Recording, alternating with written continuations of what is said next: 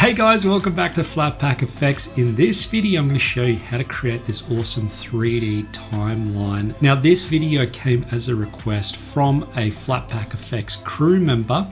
If you are a crew member, you can download this project file. If you're also interested in joining the crew membership to download the project files and also request your own custom tutorials, then follow the link down in the description below. But I'm going to show you how to set this project file up using basically these holders. Now this works with photos and videos. So basically once we've set up these holders, you can basically just drag and drop different things straight in here. So I'm going to create a new composition here. This can be whatever you want. I'm just going to call this one my main composition. Now all I did to create the holders was I simply just took whatever that main composition was and just duplicated it. And then you can just rename it to basically like your holder one. Now I've already done this and created five different holders. Now when I open up those holders, basically they're going to be blank when you first open them up but I just simply added some images in here. Now, part of this download is that I've included these images as part of the download. But basically, if you just drag and drop your image straight into this holder, you can scale it up. Then I also just added like a gray box. You don't have to do that, but basically all I did was I just created a new solid. You can set this color to be whatever you like. And then I just grab my mask tool with that selected and you just draw out basically a box, set that to be subtract and that's how you create that outline effect. So it just kind of creates this bit of a border. Now to my images, all I did was I just added some effects.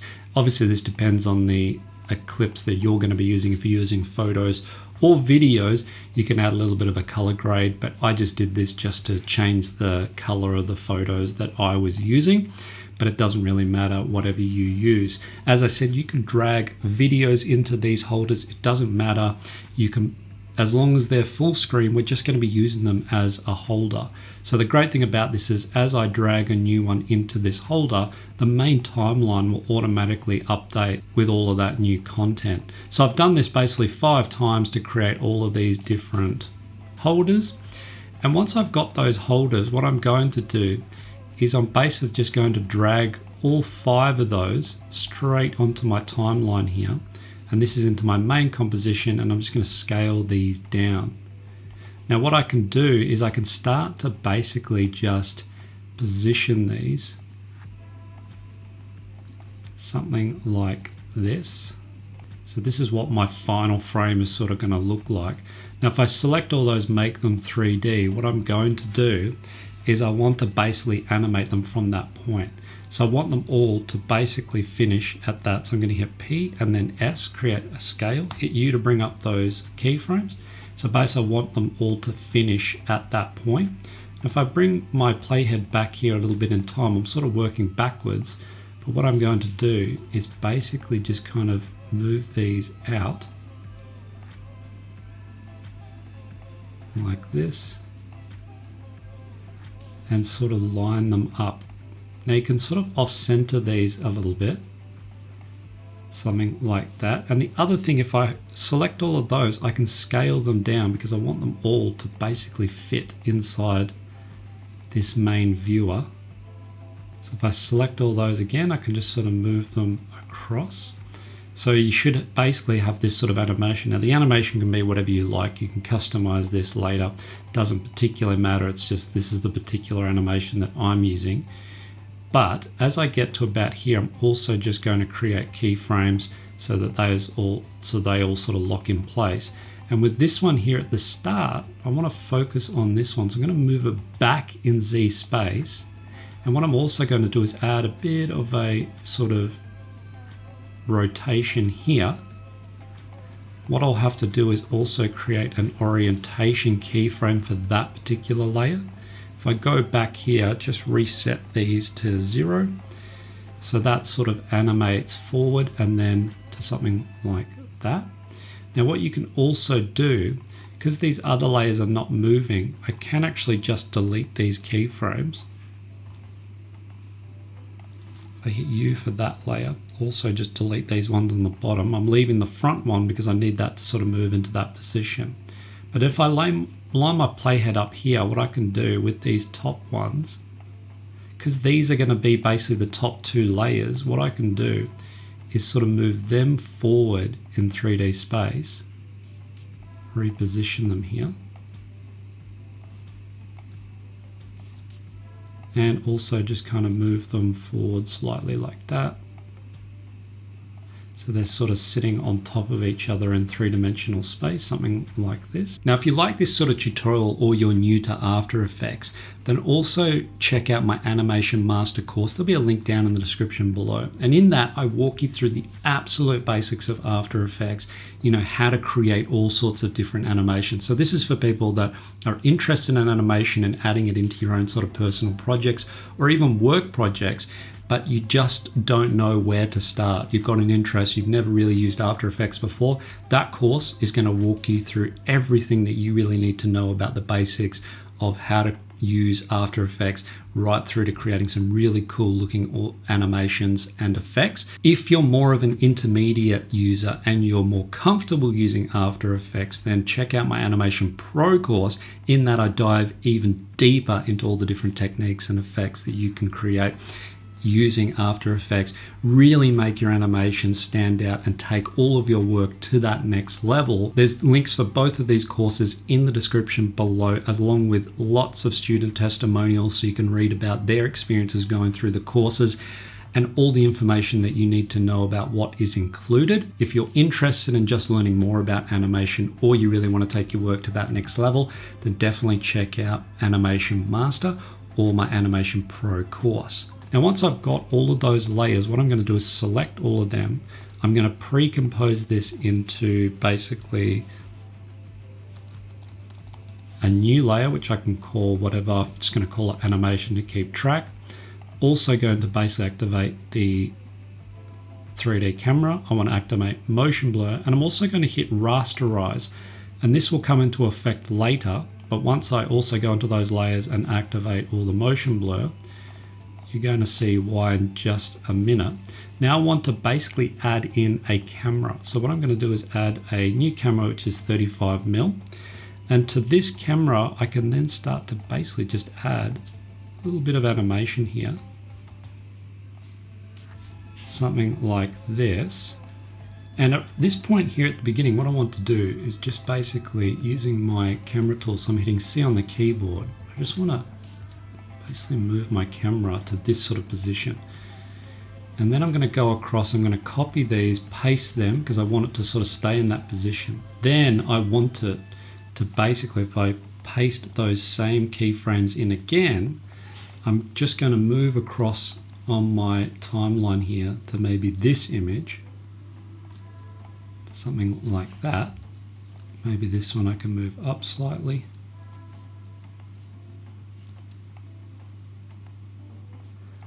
And then also one last time copy and paste those so it sort of stays in that position. Maybe move these back to match that point there. And that's looking quite good. What I can also do is I'm just going to select all of them right click and make them easy ease. And if I go into that animation and also just select all of those keyframes I'm hitting U to bring up all those keyframes right click create easy ease, go back to the main composition. We should have this basically animating quite nicely now. So you can see that's a lot smoother. Now from this point, that's pretty much the main sort of animation. The main things is then I just want to add some extra pieces over the top. So I included this image as well. I'm just using this as basically like my background. What I can do is make this 3D and the key with this one is move it way back in 3D space. And you'll have to just kind of mess around with this adjustment to get it right. But with that in the background, I want to really create some contrast. So I need to darken that down. So I added a whole bunch of things to this. I'm going to go through these. Basically, the first thing I did was just invert it. Now, the only reason I added the invert was because it was white. It's sort of a, a white and black at the moment. So I just needed to invert that to make it dark. And then all of these, again, you can just search for them up here under help and just drag these effects in. Next, I added a hue and saturation, drag down on that saturation to get rid of that blue and then sort of darkened it right down like this. And then finally, I added a bit of a CC vignette. The vignette, as you know, just kind of gives it that sort of darker edge.